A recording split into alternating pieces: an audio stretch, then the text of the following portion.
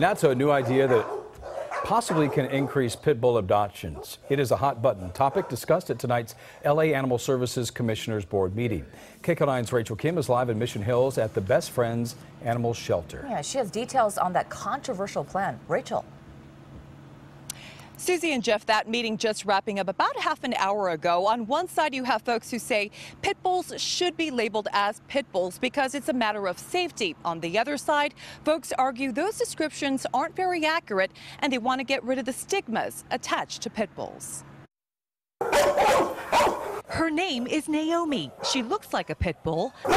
But if you look on her kennel card at the Best Friends Animal Shelter in Mission Hills, she's simply called a mixed breed. Why? They're trying out an idea proposed by two LA Animal Services commissioners, removing dog breed IDs from kennels and adoption forms and switching to a mixed breed label to help increase pit bull adoptions. There is a stigma against pit bull terriers and breeds of that nature. Best Friends believes that every dog, every pet is an individual and it's not based on breed or looks. Tuesday night, a meeting with the Board of Animal Services Commissioners to discuss the issue and whether it should be applied at every LA City shelter. Pit bulls have a very high rate of attack and a high rate of killing people and animals. We cannot dispute that.